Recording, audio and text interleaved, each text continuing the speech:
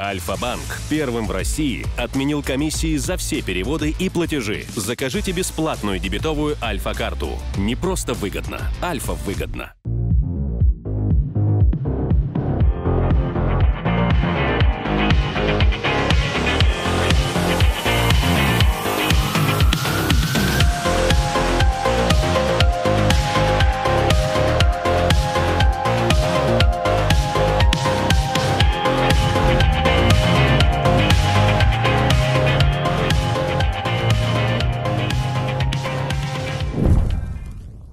Приветствую всех, мы с вами в Москве, а это 1.9 TDI, который очень даже едет. Но если вы вдруг испугались и подумали, что это Stage 3 на закиси, на впрыске метанола под 500 лошадиных сил, то вы ошиблись. Это, кстати, достаточно-таки околостоковый автомобиль, и этим он и интересен. То есть у меня Ибица на почти 500 лошадиных сил, на закиси, с лютым столбом дымом, который очень быстро едет, но при этом она переднеприводная. Здесь у нас полный привод, второй Халдекс, непосредственно 1.9 ARL, 150 лошадиных сил с завода, и шитая машина сейчас где-то на 180 лошадиных сил. То есть впуск даже стандартный, но при этом выхлоп прямоточный. Соответственно, в дальнейшем эта машина будет дорабатываться до мощности далеко за 300. Ну, в принципе, это несложно, да, ведь мы трактористы. Но в любом случае, Вопрос в чем? Как она едет, чем она интересна, сколько она кушает, как она в обслуживании каждый день. Потому что многие из вас благодаря моим видосам из Беларуси и вообще белорусам в целом, привыкли к тому, что 1.9 нереально валят. Так вот вопрос, а как едет вот около обычный мотор, сделанный, настроенный, грубо говоря, в России, да? Вот это вот мне лично самому интересно. Что он может? Все-таки 180 сил, но вес где-то тонна 400. Плюс потери на полный привод, хоть это и Халдекс. Давайте попробуем старт с места. У нас есть ланч-контроль. Вообще эти ощущения, все-таки обычная вроде тачка.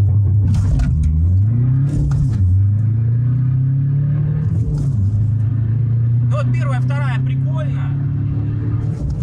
Третья нормально. Четвертая чую уже, что маловато.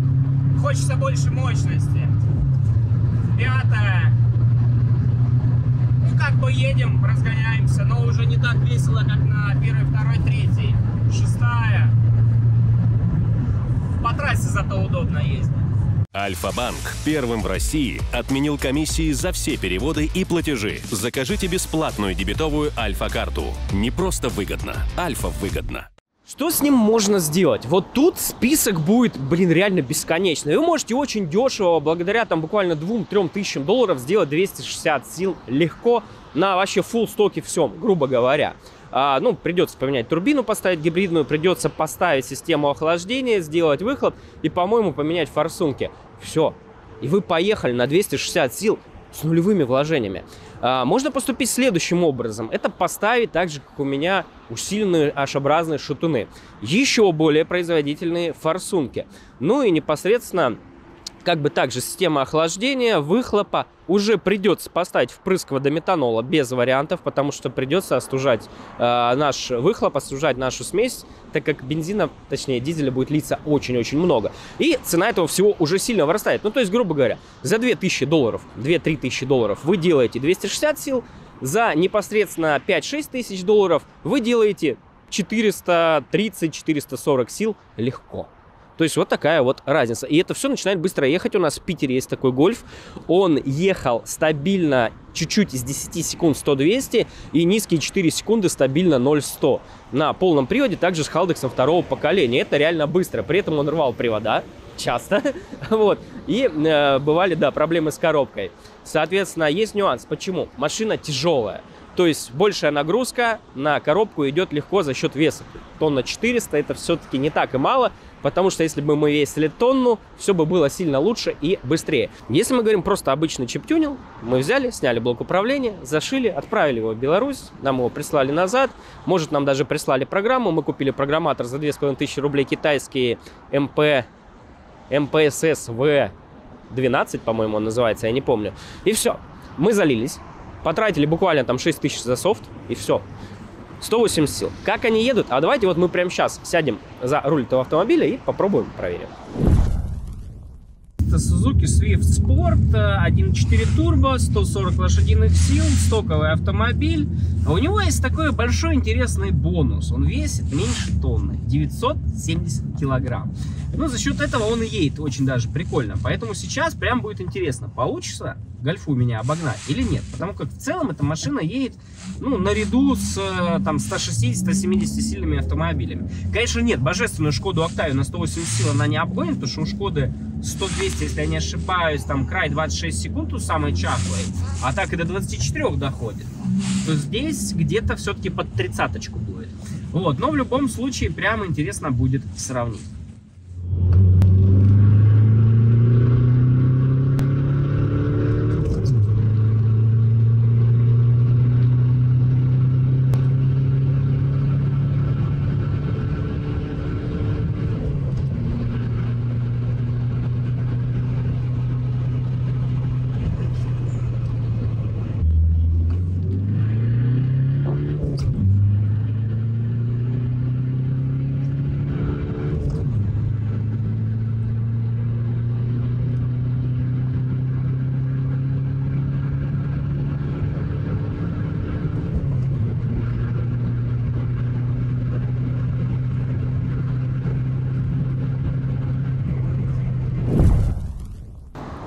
Сколько стоит обслуживание этого автомобиля? На самом деле очень дешево. А, если мы говорим про поломку двигателя целиком, то двигатель целиком стоит 500 а, долларов в Белораше. Ну, плюс привезти его сюда, в Москву, но есть компании, которые это делают за 3 копейки, плюс доехать самому на чем-то можно, может кто-то из друзей привезет, да, это не проблема.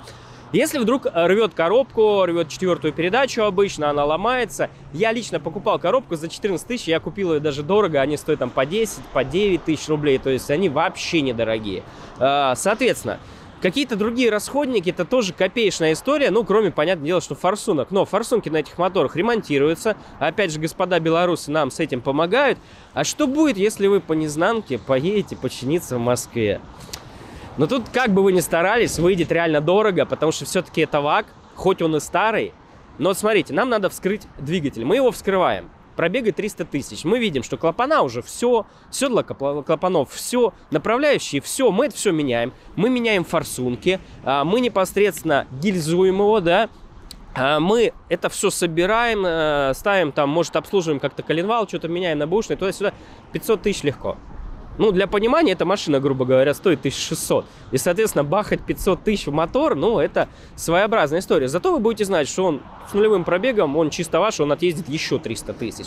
Так что тут уже выбор за каждым, но мне белорусы говорили, что, Андрюха, если вдруг, не дай бог, тебя бахнет мотор на всей той мощности, что мы туда насыпали, просто за 500 баксов возьмешь новый, перекинем шатуны и поедешь дальше. Ну, я думаю, это правильное решение, но, опять же, это не повседневная машина у меня, я на ней как бы выезжаю периодически, зимой сейчас не езжу. Здесь машина исключительно повседневная. Скажу так, вот сейчас выпадет снега, как вчера было, как было позавчера, и на ней будет ездить очень эмоционально и прикольно, потому что она, а, ставится боком, при этом, б, у нее нету сверх лишней мощности, из-за которой она будет сильно рыться и становиться неуправляемой. То есть, вы знаешь, ты на светофоре стоишь, ты такой хлоп, и в принципе уехал.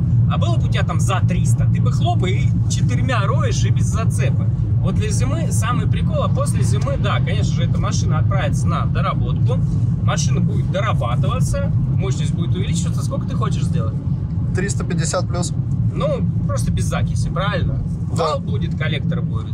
Вал, коллектор, другая турбо, как у тебя, кстати. Ну, понятно. А, и метанол да. И да. метанол, да. Вот сейчас современный турбосистемс, мы об этом говорили, что, к сожалению, качество турбин сильно ухудшилось. Олег гаркнул 4 турбины, не сходя с настройки. То есть они просто начинают нормально дуть, все хорошо, только включаю закись, все, турбина в щепке. При том, что у меня она держится на других машинах, на которых давно стали турбосистемс, они держатся. А вот именно новые почему-то вот так парят голову. И, соответственно, у нас получается история такая, что, ну вот, по-хорошему на ней надо без закиси. Мы посмотрели, что такое 1.9 TDI в около стоке. Я вам скажу, это гораздо веселее там какой-нибудь там стандартной приор или чего-нибудь такого, или просто там современного рапида на моторе, там 1.4 турбо.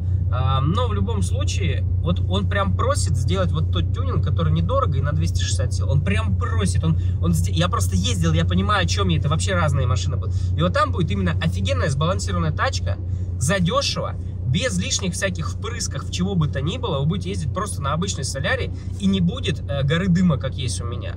Вот на 430 будет очень много дыма, но опять же можно будет уменьшать мощность. А, а так получается вообще кайфово ездишь, классно, и гибрид дешевый в Беларуси его делают, поэтому в принципе все реально все возможно. А если вдруг интересует тюнинг 1.9 TDI, пишите, обращайтесь. Мы сейчас в Питере начинаем потихонечку продвигать эти старые темы, да, э, благодаря ВДТ Гараж. Ну и также Минск ВДТ Гараж вас ждет. И эта машина там летом окажется. Посмотрим. И моя, кстати, зимой там окажется. У меня там есть планы по доработкам. Надо кое-что поменять, переделать, чтобы зимой все сделать, а летом выехать, быть стабильней, быстрее. Ну и самое главное, стабильно не ломаться. Потому что у меня конец этого сезона вышел что-то прям одно на другом, мелочи, но задолбали. Вот сегодня, кстати, ролик выйдет. Mm. Пацаны будут хоть знать, какой день мы это снимали. В общем, всем спасибо, всем пока. Что не так? Частная территория, вызывайте милицию, давайте ругаться по полной. Я даже время на вас тратить не буду. Вы подходите, нарушаете мои права, гражданина Российской Федерации. Вы нарушаете Конституцию, впариваете какую-то ерунду. Частная территория где? На площадке, где нет у нас ни шлагбаумов, ни надписи «частная территория», ничего, под открытым небом. Вы серьезно? Давайте не портить настроение, нервы друг другу. Если что-то не нравится, наряд милиции, они вам объяснят, где вы не правы, а я в это время займусь своим делом. На этом спасибо большое. Дальше только с милицией. Все.